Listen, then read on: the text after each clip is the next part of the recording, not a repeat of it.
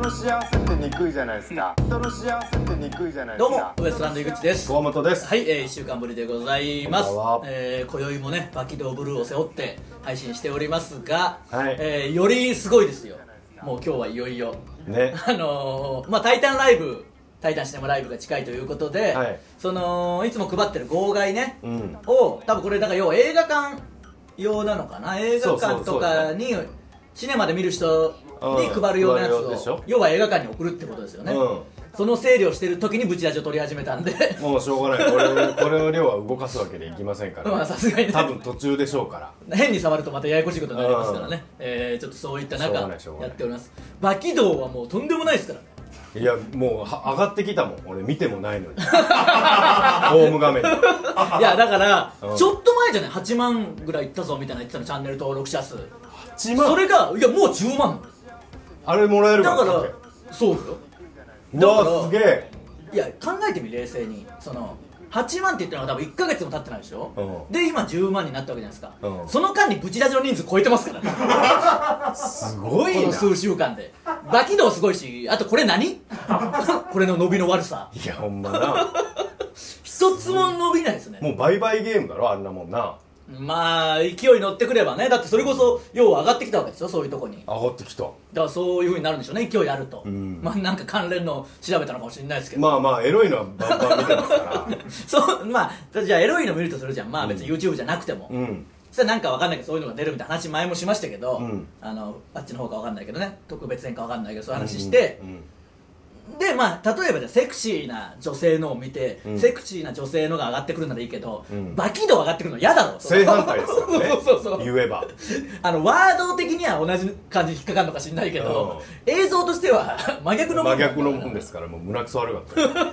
サムネだけでもな、うん見たけど。見たんかい結局。めまあ。ちゃくちゃおもろかっそれは伸びるわみたいな。ためちゃくちゃおもろかった。まあまあねバキドーブルーを背負ってやってるんですけど、はい。あのー、前回ねうん。バシコバ T シャツの話したじゃないですか、はいはいはい。とんでもなく売れ残ってるっていうことで。初動がもう終わったっていうね。初動でしかあんなもん売れないんだから、うん。あの前回のブチラジ取った段階の、うん。あの2日間でもう1枚も売れてなかったんで。そうね。要は公開収録から1週間というか5日しか売れなかったの。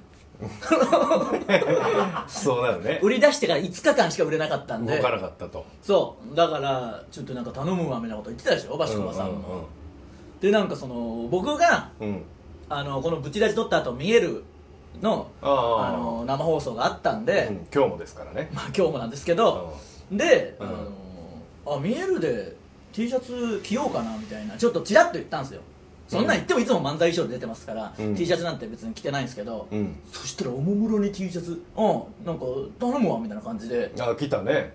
なんかその一応僕もまあいいちょっと言うじゃん着てみようかなぐらいの感じで、うん助けてあげようかなっていうねちょっと心意気でね。全然その頼むわみたいな感じ。でじゃあこれあの東野さんと佐々木さんのみたいな感じで、なんかあの6枚ぐらい入って紙袋渡してきて 急に。サイズがあるからいやいやそのさおしゃれに着てほしいから。違う違う言ったけど、うん。大変じゃんそんなことってしちゃダメだしあとまあね。普通に番組に出て、うん。勝手に T シャツとか配っちゃダメだ売しってるやつをねうんそんな。タレントに着させてね。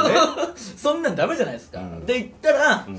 なんかでバシコウさんいないし紙袋だけ置いてあってこれでお願いしますみたいな感じでどっか行っとった。もももきさんが持ってきて あ小林さんからみたいな感じで、うん。なんだと思って言ったら T シャツが大量に入ってて6枚入ってた。6枚入ってたんでさすがにそんないらないですって言って、うん。まあ一応何枚か持って、うん。で見えるに行ってうん。一応そのスタッフさんにうん T シャツ着てやってもいいですかね？みたいな。うん。一応お願いしてこっちも勇気振り絞って。うん。なんか前にそのうんオズワルドの伊藤が出てる時とか、うん。なんか他の芸人さんが作った T シャツとか着てた時あったの確かに。ああそうなんだ。あとユッティさんの T シャツが今おしゃれでめっちゃ話題になってるみたいなことを、うん。あのー岡野さんとかが言ってたりとか、うん。ちょっと T シャツの話題が出たのが何週間か前にあって見えるで、うん。で一応まだ T シャツ着るノリってありますかねまだみたいな。うん。もしよかったらちょっと着たいんですけどみたいな。うん。あちょっともうそういうノリはあの終わってるんでみたいな。そのもう T シャツ着るノリはちょっとすいません。僕は一周出てない会議があったんでやっぱその間にあー。1週間2週出てなくてうん。ちょっともう T シャツとかのはみたいになったけど、うんそこも本当に押し切って半ば無理やり T シャツ着て。来たんじゃそれでも。そうそうそう。だからすごいな。シャツ着て。そこまでしてやる必要ねえのに。いやマジでそうだろ、うん。なんか僕が全部背負ってやったけど、うん。バシコバのじゃん別に。そうね。あいつのだろ。あいつって言うな。で何のなんかお礼とかもないんだよしかも。すごいな。であるな。いやそうそう。文句言いながらも。でもそうそうだろ。勇気振り絞ってきて、うん。で一応その MC のあの東野さんと佐々木さん佐々木久美さんの分も、持ってスタジオにこっそり こっそりスタジオまで持ってって、うん。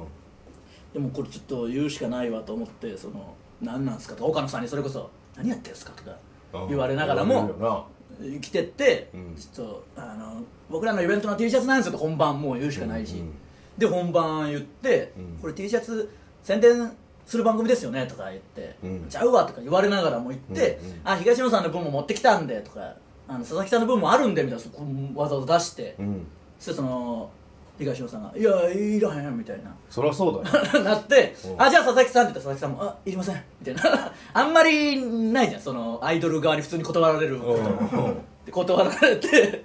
だってでいらんもんこんなん。俺らのいらないでしょ。わけわからんイベントで作った。まあ物質ですからね。一ボケのためにまあやったんですけど、うで、終わって、うん。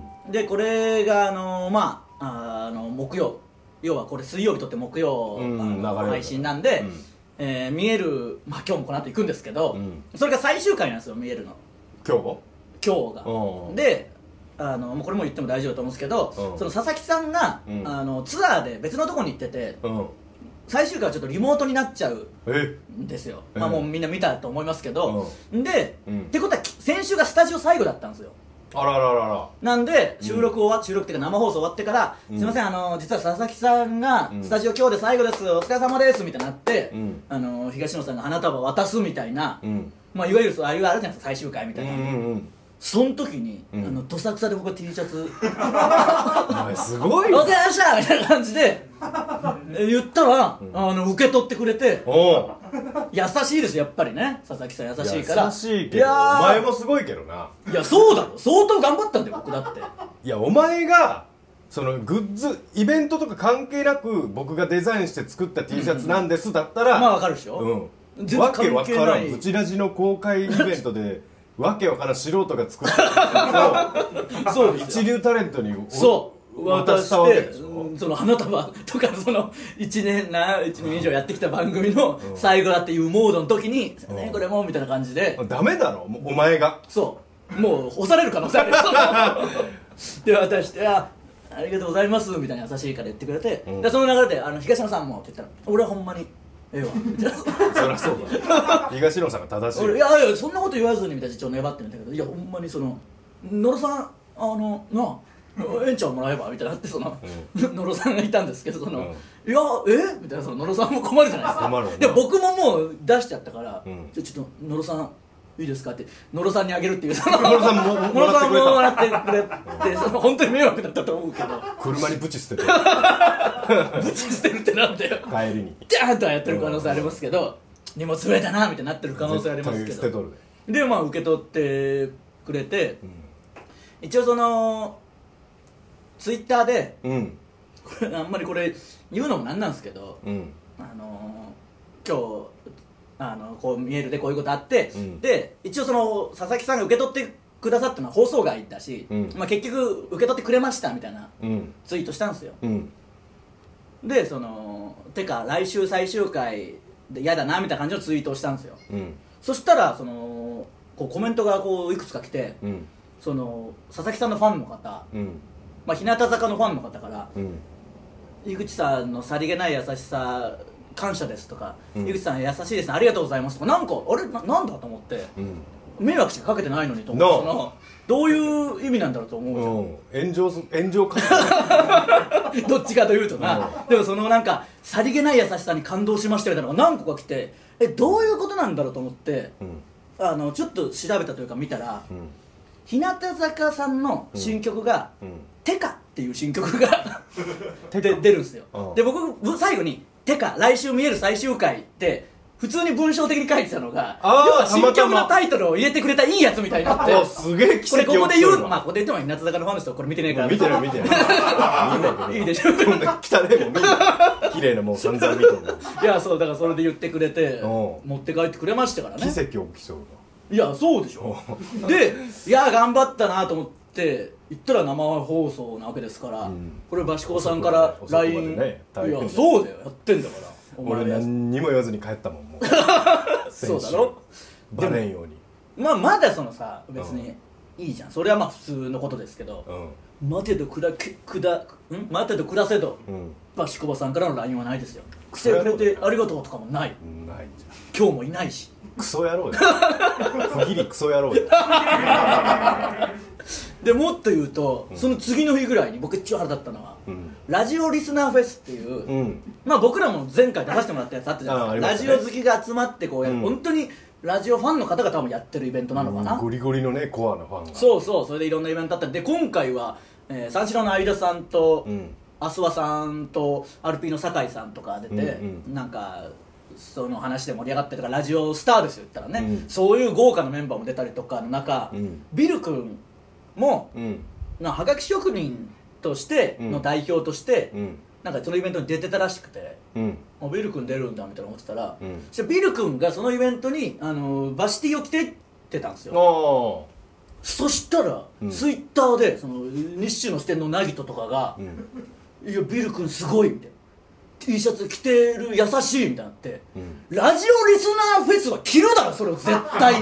それは普通に。普通のこと。なんであんな勇気振り絞った僕に対する30ゼロで。ひどいな。それ誰だって着るじゃんラジオリスナーフェスに。行くとビル君なんか絶対着るじゃん。絶対金といけよビル君は。僕だって前回あのブチ T 着てったし別にそういうフェスだし、うん。それが清掃じゃんその場では、うんそうだな。僕はあのテレビですよ、うん。そこにうんこっそり来てほんまひどいよ。お前はなもう勇気を振り絞って。そうそうなのにだからもう見ろよ見えるわもっと。見えるを見てないんだよみんなな。だからそれがもう腹立つわ。本当に。だからもうそれ見えるのにな。なんかできそうでできないからやめてくれよなんか。僕もなんか挑戦しようとは思ったけど、なんか結局できなさそうだからやめたんだから そうなんかできそうだよ確かに。見えるを見てないなんかあるかなとは思ったけど。うんできんかった。できなかったら言うなよちょっと。恥ずかしいだけど。ただ恥ずかしいだけど。まああのー、ブチティというかバシティはまだまだ残ってますんでね。そうですね。もしよかったら。いやちょっとだからこの後行くんで聞いてみようかな佐々木さんにその。あでもリモートだからなリモートのところに「来ましたか?」とか いういうのもねしかもツアー終わりでめちゃくちゃ疲れてる時に「うんじゃあ先週あげた T シャツどうなりました?」とか言ったらマジで切れる可能性ありますからへへへって言われるだろまあへへへでしょうねそうなったらねでもちょっと本当にご迷惑おかけしましたけいやど、本当ですねちょっと宣伝のためにね、えーすごいやよくやったただその会話ってかよくわかんないですけど、うんまあ、今週っていうかまあ今日この後見える行くんですけど、うんそのなんかあのお願いしますみたいな連絡が、あの来て、うん。それなんかそのなんか、T、着てくる T シャツあありますか？みたいな。あの T シャツ販売番組っていうのをあの演出が気に入っておりましてみたいな。そのなんかえ？本当に最終回になってその T シャツ着るノリが最なんていうの？T シャツの番組になっちゃった最後に。え？僕が無理やり着たせいで。きっかけ作ったのきっかけ作ってだからもしかしたら今日みんなおのおのなんか押す T シャツを着てきてる可能性ある。マジで？いやなんかそういう話になってたみたいで。どれ着てくん？いやだからもうブチラジというかバシコバさんには協力がしたくないんで、ん。普通にあの井口ビール部の T シャツでも着て乗り込もうかなと思ったんですけどただねその場で物がないんでやっぱ渡したいんですけどね。あちょっとああれもだって売ってるんでしょ？売ってるけどやっぱネットでのこうなんていうんですか取り扱いで今手元に物がないんでねなんとか渡したかったんですけど。そうですねそっちの方が渡したかろうに。まあちょっとねバシコバさんには今後しっかりとねやっぱり言ってもらわないと、償いをしてもらう 肝心な時にこっから僕数週間いない気がするな。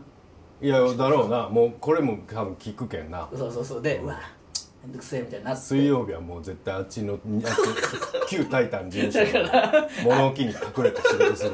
そんな社長いないんだよ。物置に隠れる社長。物置に隠れて。な んでそんなとこに隠れる全部リモートだよ。隣におるのに ここで会議すりゃいいことも、うん。隣からリモートで参加する可能性ありますから。ちょっとぜひ皆さんあの大きいサイズはもうちょっとしてからあのーまた増えると思うなんか作るみたいですよ。どうやらやっぱりでかい人が多いみたいで、ね。そう本当にそうだったな。でもそれは。それだけは唯一当たってたというかうん。唯一の功績というか。そうね、ん。そこだけ冴えてた。そうそうなんでぜひぜひ皆さん買ってください。よろしくお願いします。しえーそれではそろそろ行きましょう。ウエストランドのブチラジえー今日のブチラジまずはこのコーナーからです。教えてウエストランド、えー皆さんからの質問や疑問に僕ら二人が分かりやすく答えるというコーナーです。行きましょう。はいブチラジネーム水族館行きたい。ううん。井口様河本さんスタッフの皆様こんばんは。いはこんばんは。ネカフェで仕事をしていますが飽きてきたので質問です。いやその合間に送ってくんなよ。なんか腹立つな。数ヶ月前から通勤中にブチラジを聞き始めちょうどお二人が29歳頃のブチラジを聞いています、ああ20代の頃かもう10年近く前ってことですね。だから9年前とかでしょもうそうそう。うんえー来年で私も20代最後です、20代のうちに何かしておけばよかったと思うことはありますか、うん。もしくは20代最後の自分に何か声をかけたいことはありますか？まああんまその20代最後かとかも思っまあその時は多少思ったのかもしれないけど。多少思ったけどね。今思えばもう何にも変わんないじゃないですか。何にも変わんないもう20代も30代もっていうか二十歳だったらなんか言ってあげれることあるかもしれんけど20だから8だろ？これも。うん29とか、うん。まあ、30になるにあたってまあでも普通の人はそれは分かんないです。変わることいろいろあるだろうけど、うん。芸人なんてマジで変わんないから。変わんないよ本当に。ずーっとその20代ぐらいの気持ちで過ごして、うん。だからたまにあるもんその例えばじゃあ小宮さんとの、なんか昔こんなバカやってたなみたいなうん。エピソード話す時あるじゃないですか、うん。数年前こんなやってさなんか信じられないよな今考えたらみたいな、うん。若気の至りだよなみたいな言うけど、うん。よう考えたらもう32とかだったりその全 そんな普通の大人だったらそのダメダメみたいなその落ち着かないとその時はもう。ちょい前だもんね。ちょあのずっとそういう気持ちでやってるんでうん。僕らが何か言うことはないですけど。まあ遅いなんてことはないし遅いしもどういうことですか？ういや28でしょもう。何かや始めて遅いなんてことはないけど、うん。まああんま変わらんがもう俺らと。言うても。あ年齢的にですか、うん。だから俺らだって別に遅くはないし今から何かを始めてるね。うん。いやそれはそうですよ。だから気にすることないんじゃないですかって言いたかったでもなんか合間に遅いしみたいなのがその。遅いは遅いか。だからどどっちのほんと何？極端な意見を両方同時に言ってるからなんだから気にせんのんだったらいつでもええけど、うん。遅いか遅くないかで言われたら遅い。そう全然意味が分かんないその。始めるのいやわかるよ。遅くないよ。いつ始めたっていいそれはいいいいことじゃないですか、うん。でも一般的には遅いよって。じゃあ遅いじゃん。いやいやだからその本人はそれをちゃんと気にしなければ外から見たら遅いよあまあね要は、うん。まあこれ何度も言ってるかもしれないけど、うん。芸人やりたいんですけど親に反対されてます？どうしたらいいですか？みたいなの来て、うん。うんいやそれでじゃあやめろって言ってやめるぐらいならやるなよっていう話で、ね。遅いと思われて始めないぐらいならもう始めない方がいいけど、そうそうそう本当に遅く遅いってことは大前提ないけど、うん。遅いかなって思うぐらいなら遅いよっていうことね。そういやせ世間から違うのかよだいぶまとめて言ったの。こんなにまとめて言ったのに違うの。結構ちゃんと言った。旗から見たら遅いよっていうこと。おまあまあまあそうそう、だだからそれをうん。遅いと感じる、自分が感じてしまうんであれば、うん。もうそれまでだけど、うん。何か始めるのに遅くはないっていうのはあるけどってことでしょ？うん。まあ旗から見たら。いいだろそれでも。腹立つな。いやいやまあいいんじゃないですかそのね。うん。好きにしてください。好きにしてください。何でも始める。はい何でも始めてください。好きにしてください。好きにしてください。あの知らないんで好きにしてください。自由です。責任も負いたくないし。いやそれはそうよもちろん、うん責任だけは嫌なんでね好きにしてください。ムチラジネーム母はドイツ人。うん。ええ。すごいな。はじめまして太田上田でウエストランドを知ってからブチラジ聞いてます。いやーありがたいっすね。えー太田上でやっぱすごいですからね YouTube に出てからさらにというか、がね。一気にもうねやっぱ火つきまして本当にこれ太田上田内でも言ったかなわかんないですけど、うん。まあ、太田上田って爆笑問題の太田さんとクリームシチューの上田さんの番組じゃないですか、うんでその東京ではやってなくて、うん。まあ、名古屋の中京テレビの番組なんでうん。もともとその辺でやってたのがこううん。徐々に今は放送地域増えたりして、うん。しかも YouTube で切り抜きというかねあれがもうすごいじゃないですか。あれでどんどん今人気になってますけど、うん。最初って本当に知られてなかったから。うん。だから前僕見学行かせてもらうじゃないですか、うん。でその後ライブ行った後にうん「あれこの時間まで何してたの?」って言われて「うん。あーあのちょっと番組太田上田の見学に行ってて」みたいな。うん。いやそんなんな何それ？みたいな、うん。いや太田さんと上田さんの番組出た。いやそんなわけやそんな番組あるかい！みたいな。あまあ要は信じられんよなその。なんていうの？太田さんと上田さんがやってる番組なんかあったら分かるはずだろみたいな、うんそうだな。いやあのいや名古屋であのやってるんですよって言ってもいや名古屋でその二人がやるわけねえだろみいたいな。そやそう分かる分かる。ういう感じでしたからね。信じられんかったもん。そう。それが今はね始まった時は。もうやっぱ YouTube でなってからすごい人気になってますからね。そらそらそうだ。うんうん。えー、はじめましてあー私はエステティシャンなんだって、えー以前井口さんがリラクゼーションに行った時、うん。体を冷やさないように言ったくせに、最後に温かいか冷たいお茶をどっちかにするか聞かれたと言っている回がありまして、うん。ハッとしました。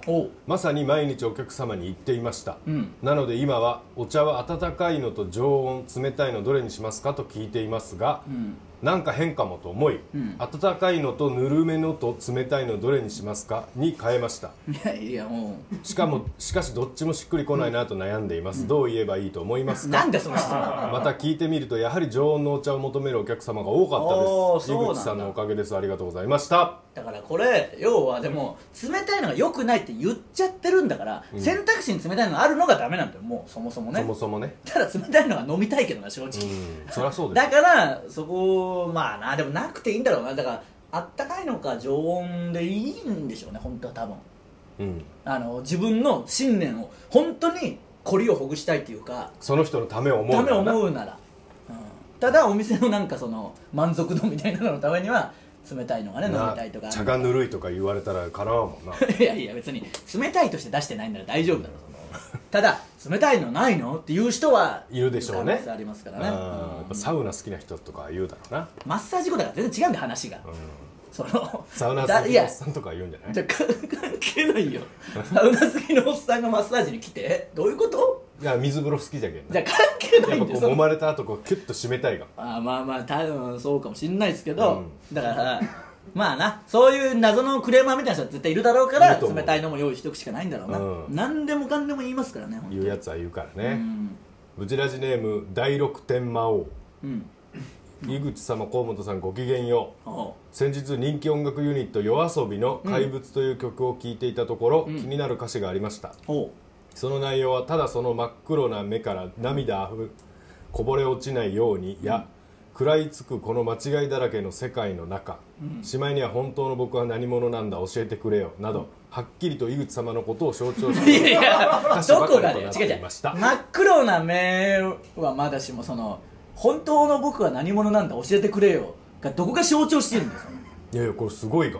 食らいつくこの間違いだらけ。まあでもまあまあ象徴のはしてないけどまあ遠くはないか。心ぐっとあれじゃあ夜遊びが僕をテーマに作ったの歌ってこことでしょ？これ多分、うん。かもなそれになったらね、お前か田中さんか。う んまあね。うん。えーこれはさすがにタイトルである「怪物イコール井口」という認識でよろしいでしょうか？なんでそれ。J p o p 界すらも掌握してしまう井口様の権力には脱帽いたします、うん。この機会に夜遊びとの怪しい関係について教えてウエストランドとただあのカイジの、うん。まあ大人気漫画カイジのスピンオフみたいなやつで、うん。それをなんか教えてもらったんですけど、うん。あのとある、まあ、別にちょっとサブシーンというかそのメインどころのシーンじゃないけど、うん。ちょっとなんかごちゃごちゃ話してるところで、うん。その大阪のやつはうんその大阪のノリを捨てずに持ってくるみたいな、うん。僕らがネタで言ってるじゃないですか。その田舎のネタで、うん。うん。うんなんかあの「えーエスカレーター逆に並びまんの?」みたいな、うん。知ってるだろもう」みたいな、うん。お好み焼きご飯一緒に食べませんの?」って「食べないっつってんだろ」みたいな、うん。あのネタの感じを言ってるシーンがあるんですその大阪の人だけど大阪のものを全部背負ったまま来るみたいな、うんうんうん。そいつが岡山出身なんですよその。え？絶対僕だろ。うん。こればっかりは。いやぽいな。うんそうだろ多分見たから日曜チャップリン。いや別にチャップリンまあやったけどそのネタ。えカイジの人でしょ？いや違う人が書いてるスピンオフかもしれないそのなんか結構いろんな方がねそのアシスタントの人が違うあー。怪人出てくるキャラのスピンオフとか書いたりするスカーフェイスみたいなことね。うんまあまあバキで言う。だから花バキで言うなよ。の番外編。でなんでバキで言うんだよその。傷顔スカーフェイス。あれアシスタントの子が書いてる。だからいいその同じだから漫画で言い出したら全部もうその漫画なんだから頭あの狙撃されても生きて生きけ。うなんでギャグだろもうただ。でここ全部取れた状態でな仕返しに知らない知らないもう。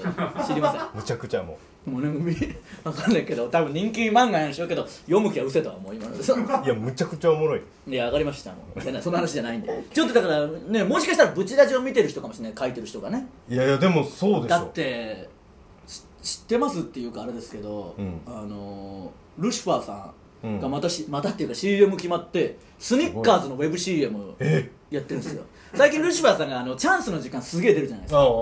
めちゃくちゃ面白いじゃないですか。めちゃくちゃ跳ねとるな。なぜかあれを見てあの食べ物の CM が決まるっていうなんであんな下ネタ言って。なんで？でうん。行ったんだって。そしたらあのラッパーの呂布カルマさんとルシファーさん。すげえな。でで行ったらその監督さんがルシファーさん大好きなんですよ。チャンスの時間見てますっていうのと、音捨ても聞いてますって言ったの。ああじゃあお前のことも知っとるわ。そうそう。で音捨てで、うん。だからゲラ捨て時代から咀嚼音のコーナーって言ってルシファーさんがお菓子食べるみたいな。あったね、うん。そっちじゃないかなと思って。そのチャンスの時間というより。そっちじゃないよ。咀嚼音じゃないかな。だから誰が見てるか分かんないってことですよまあまあこれを見てね。CM キャスティングしてくれる人もいるわけですから。まあないことはないけやっぱルシファーさんといえば僕らを踏み台にしていろんな仕事を取ってくるおなじみなんだ本当にそうじゃもんな、うん。まあ一回やってくれたけどな。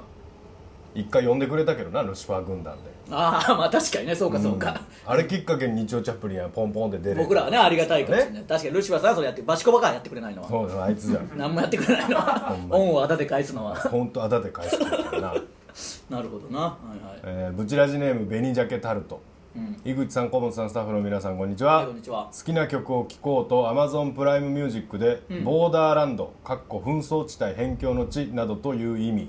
と検索したところ、週刊少年津山のポッドキャストがヒットしました。さっきのバキドーパターンじゃないからやっぱそういうのはね、あるんでしょうね。津山はどちらの意味でボーダーランドなのですか？違うよ。なんかそのランドとかで引っかかったんだろそういうの。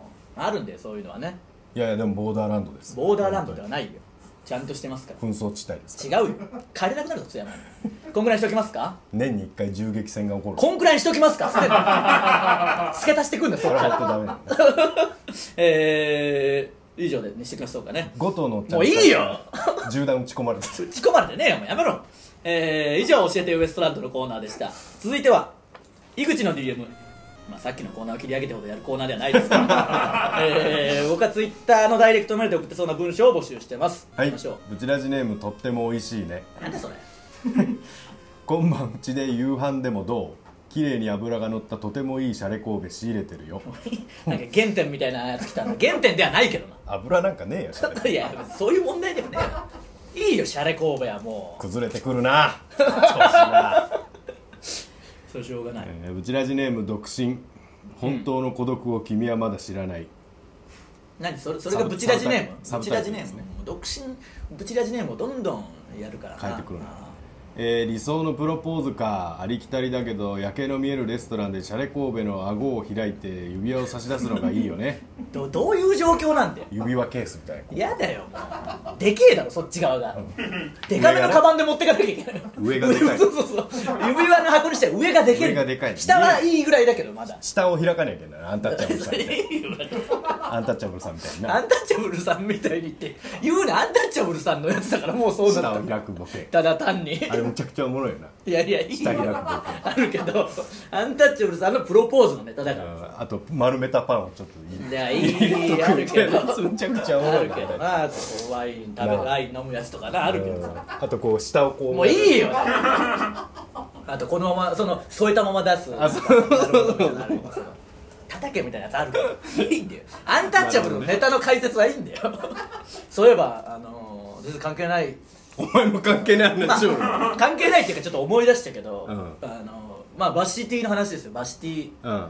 が をなんかき買いましたみたいな人ツイッターでよく時々上げてくれてますけどあはいはいはい。あのやっぱりその来て普通に会社かなんか行ったんだって誰かソルジャーが。そしたらアホだ。ろあのそしたら「ああ何それ？ニューヨークのグッズ?」って本当に言われたらしい。ほんまに言われたんだ屋敷って書いてあるからこれはええな。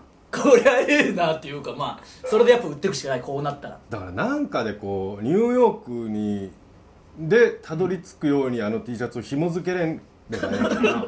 まあなあとはもうバシコバさんになんとか全部に嶋佐って書いてもらって、うん。もう本当にニューヨークのものとして売るからです。桃木さんと二人でな 梱包と嶋佐って書く作業。巻き込むな桃木さん。えー、行きましょえーブチラジネーム無農薬動物。ううんオリンピック見てる？昨日のシャレ神戸混合ダブルスの決勝興奮したね。どういう意味なんだよもう。どうやってるか分かんないよ。何と分かんないだろシャレ工場じゃ多分分かんないなあんまり。その混合かどうかも。男女僕のみ僕のみ分かりやすいけどなシャレ神戸化したとしても。みんながシャレ神戸した化した時に僕だけは分かるよ。細いけん。歯が2列あるああそうか。博多で決めるもんなあれな。いいよシャレ神戸の。真面目に解説しなくて えー、ブチラジネーム独身本当の孤独を君はまだ知らないいいよ。知らないよ。世になっとる。いいよちょっとした変化。これ。よく気づいてよ。ほんまな。おい今なんて言った？シャレ神戸は蹴るじゃなくて蹴らせていただくだ。終なんでだよ蹴るもうおかしいです全部おかしいはいもう終わり終わり。わりです。えー、以上井口の DM のコーナーでした、はい。さあエンディングです、えー、ブチラジは YouTube と Podcast と audiobook.jp の聞き放題プランで配信しています、えー、YouTube でご覧の方は高評価ボタンを押していただけると助かります、はい。よろしくお願いします。この前、うん。あの渋谷でうん。あのお仕事あって、うん。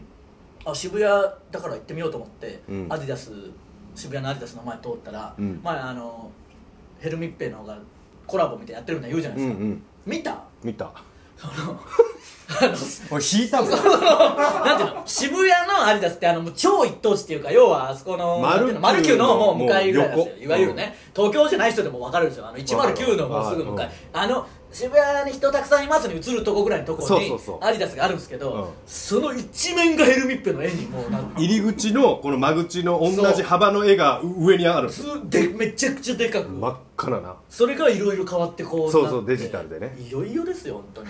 ほんまビビったな。羽ばたき方がとんでもないんで、うん。そこにちょっと便乗しようということを、あの高崎さんが言い出してうん。なんかその僕は意味わかんなかったんですけどその屋敷の瓦礫を売るみたいななんかボケで言ってたじゃないですか。ってあ言ったら高崎さんがなんか売るわみたいな言い出して、うん。だけど屋敷あるんですよまだその。あまだ壊してないですよ。でもっと言うと、うん。あのあれ賃貸なんで屋敷。その瓦礫化したからってパクっていいわけじゃない。そりゃそうだな。